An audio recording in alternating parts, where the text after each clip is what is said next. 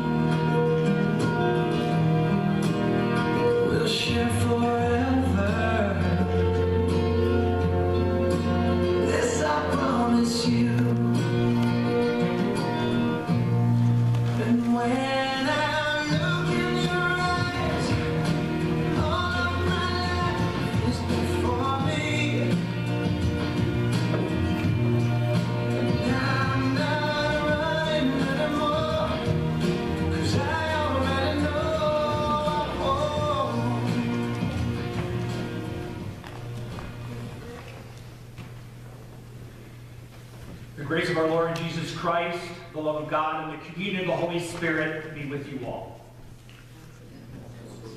Yep, you got to respond, and also with you.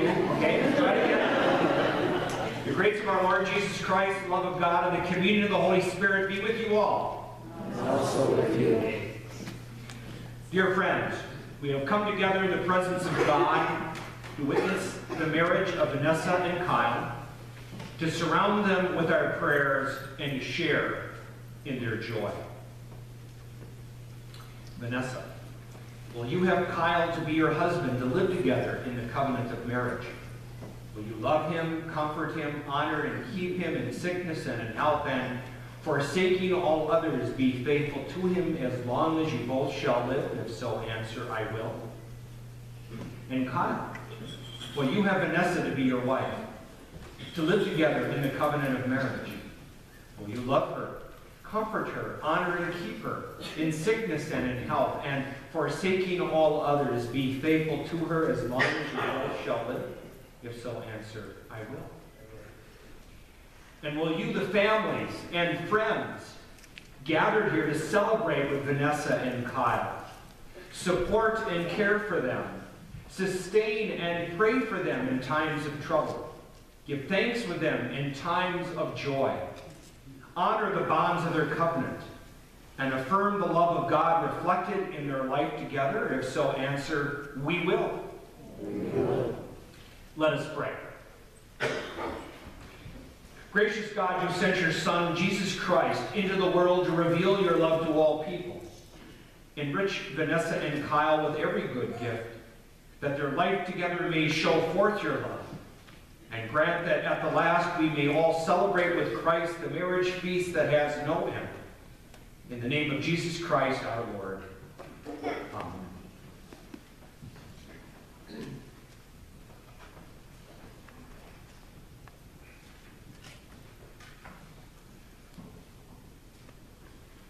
Today's reading is from Colossians chapter 3, verses 12 through 17. Therefore, as, as God's chosen people, holy and dearly loved, clothe yourselves with compassion, kindness, humility, gentleness, and patience. Bear with each other and forgive one another if any of you has a grievance against someone. Forgive as the Lord forgave you. And over all these virtues put on love, which binds them all together in perfect unity. Let the peace of Christ rule in your hearts, since as members of one body you are called to peace. And be thankful.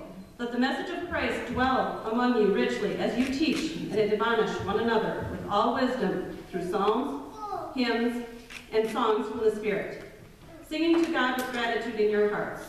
And whatever you do, whether in word or deed, do it all in the name of the Lord Jesus, giving thanks to God, the Father through him. And now a poem, Blessing of the Hands. These are the hands of your best friend, young and strong and full of love for you, that are holding yours on your wedding day, as you promise to love each other today, tomorrow, and forever. These are the hands that will work alongside yours, as together you build your future. These are the hands that will passionately love you and cherish you through the years, and with the slightest touch will comfort you like no other. These are the hands that will hold you when fear or grief fills your mind. These are the hands that will countless times wipe the tears from your eyes, tears of sorrow and tears of joy. These are the hands that will tenderly hold your children. These are the hands that will help you to hold your family as one. These are the hands that will give you strength when you need it. And lastly, these are the hands that even when wrinkled and aged, will still be reaching for yours. Still giving you the same unspoken tenderness with just a touch.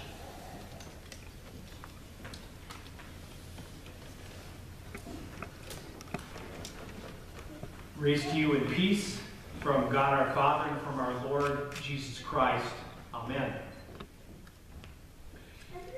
At first reading, this passage from St. Paul's letter to the Colossians doesn't seem to fit at a wedding. Paul is addressing the members of the Colossian church, instructing them on how they are to live together. The congregation was made up of all sorts of people. There were Jews and non-Jews, men and women, people who were slaves, people who owned slaves, high society and the poorest of the poor, people of Roman, Greek, Jewish, and Turkish ancestry. There was quite a variety of people. Paul addresses this diversity by reminding the members of their common bond, that their common bond is the love all of them, a love that they've been given in the death and resurrection of Jesus Christ. It is through this love that they are given the power to show compassion and kindness, humility, and patience to each other. It is through this love that they are given the power to bear with each other, forgive each other, live in harmony with each other.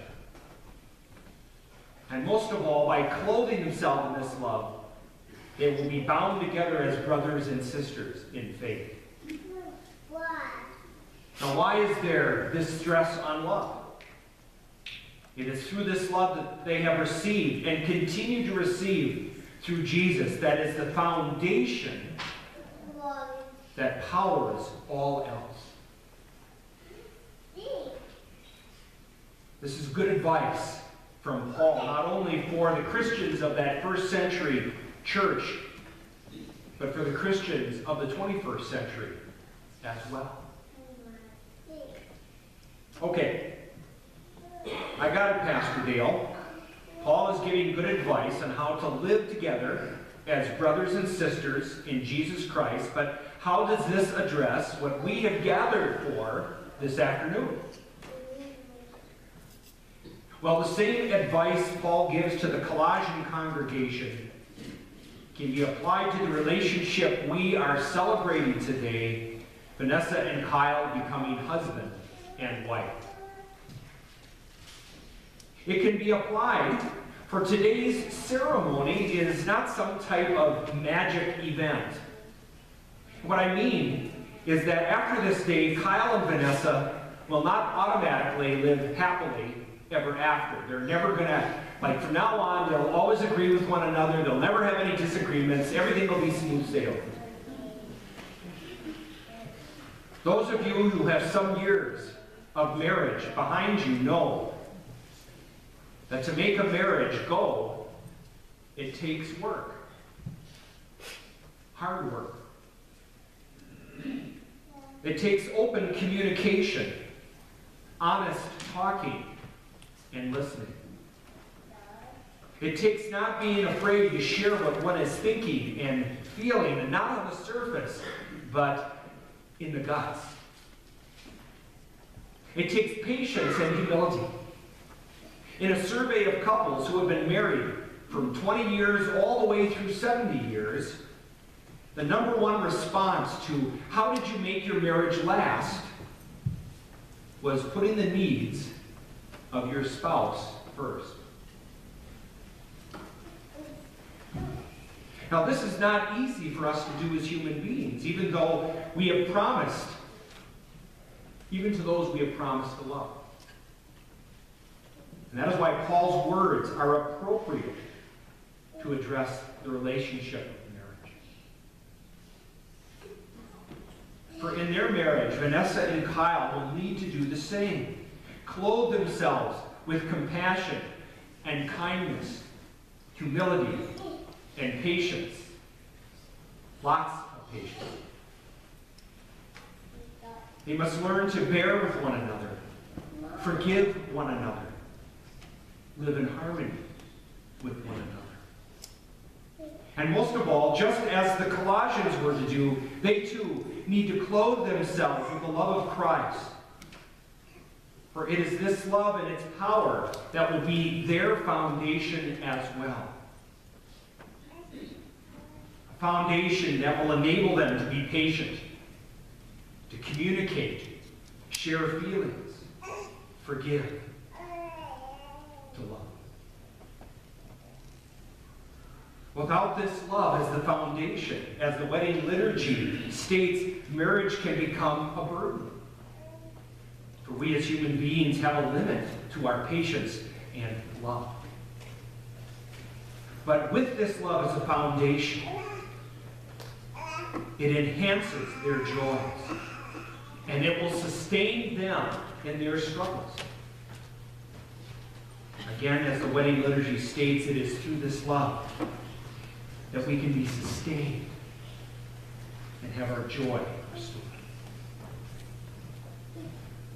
And so, as we celebrate this afternoon, Vanessa and Kyle becoming husband and wife, let us celebrate and give thanks for the foundation that will enable them to be there for each other through the best and the worst of what is to come. And in fact, it enables each one of us to be there for each other in whatever relationship we are in through the best the. The love they have, the love we all have, in, with, and through Jesus Christ. Amen.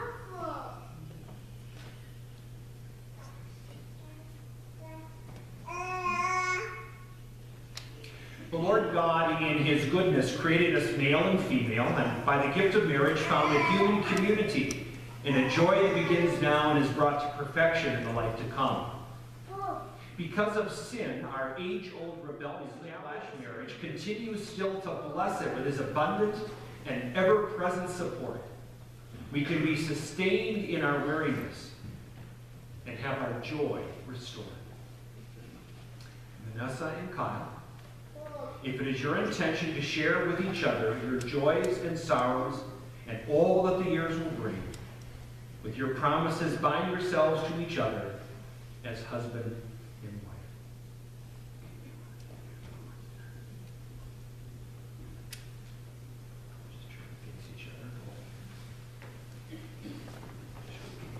wife. I take you, Kyle, to be my husband. These things I promise you. I will be faithful to you and honest with you. I will obey and respect, trust, help, and care for you.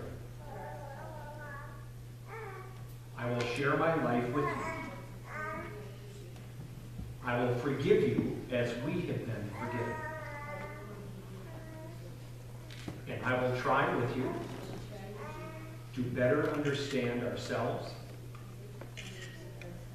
the world, and God through the best and the worst of what is to come until death parts. I take you, Vanessa, to be my wife. And these things I promise you. I will be faithful to you and honest with you. I will obey and respect, trust, help, and care for you. I will share my life with you. I will forgive you as we have been forgiven. And I will try with you to better understand ourselves, the world, and God through the best and the worst of what is to come until death parts us.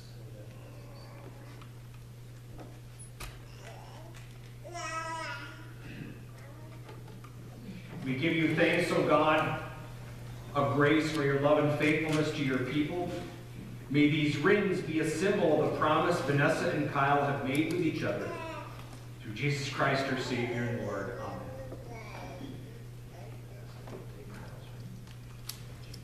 Amen. Kyle, I give you this ring as a sign of my love and faithfulness.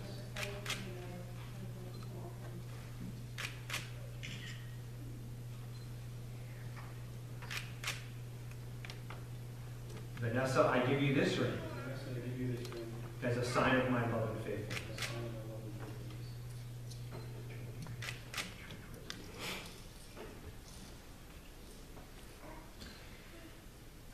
Vanessa Kyle, by their promises before God and in the presence of this assembly, have joined themselves to one another as husband and wife. Blessed be the Father and the Son and the Holy Spirit, now and forever. Those whom God has joined together, let no one separate. Amen.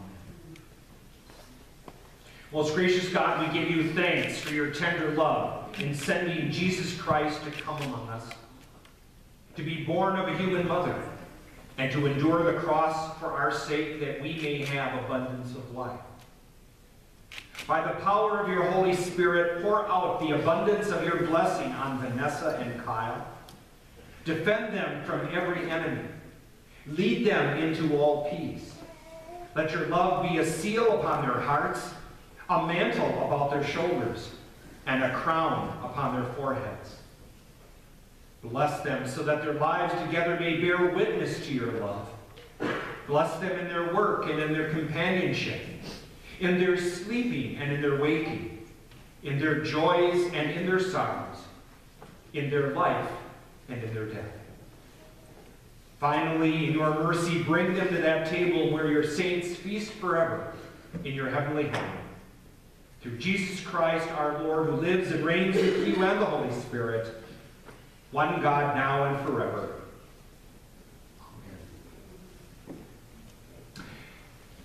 As a sign of their new life together as husband and wife, Vanessa and Kyle will light this unity candle. The action is a reminder of the words from Genesis chapter 2 that tells us in marriage the two become one. And a new life, a new relationship, a new family has begun.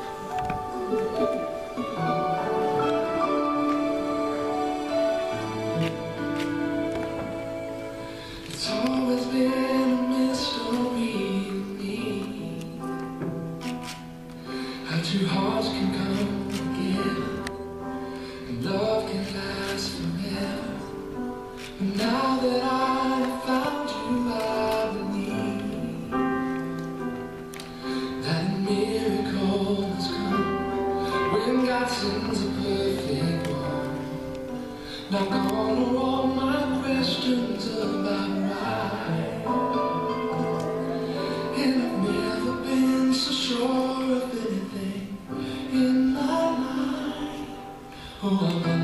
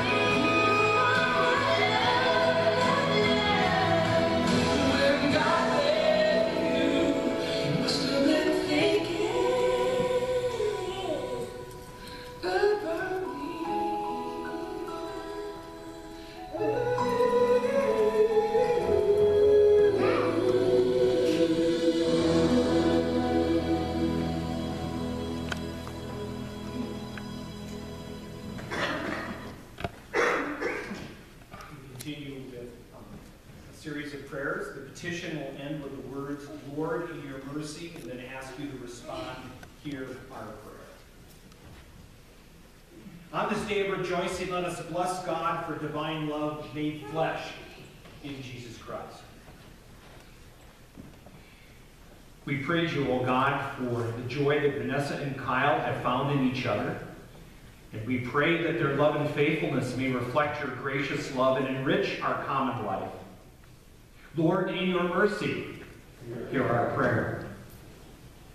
Give to Vanessa and Kyle gentleness and patience, affection and understanding, readiness to trust one another, and when they hurt each other, grace to acknowledge their fault and to give and receive forgiveness. Lord, in your mercy, hear our prayer. Use us to support Vanessa and Kyle in their lives together. Give us such a sense of your constant love that we may employ all our strength in a life of praise of you. Lord, in your mercy, hear our prayer. Gracious Father, you bless the family and renew your people. Enrich husbands and wives, parents and children more and more with your grace that, strengthening and supporting each other, they may serve those in need and be a sign of the fulfillment of your perfect kingdom, where with your Son Jesus Christ and the Holy Spirit, you live and reign one God through all ages of ages. Gathered in one by the Holy Spirit, let us pray as Jesus taught us. Our Father, who art in heaven, hallowed be thy name. Thy kingdom come, thy will be done, on earth as it is in heaven. Give us this day our daily bread, and forgive us our trespasses, as we forgive those who trespass against us. And lead us not into temptation, but deliver us from evil.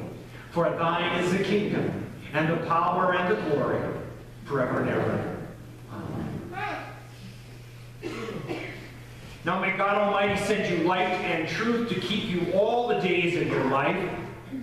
The hand of God protect you.